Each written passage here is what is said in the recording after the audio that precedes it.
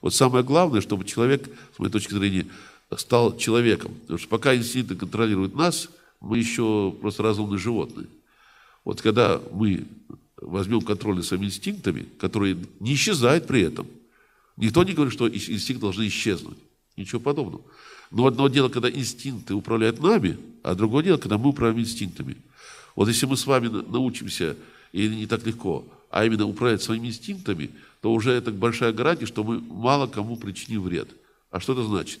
Допустим, если нам угрожает смерть, мы не, не скажем, ну хорошо, пускай убьют другого, но только не меня, правильно? Потому что инстинкт самохранения спастись любым способом. Не любым способом нужно спасаться.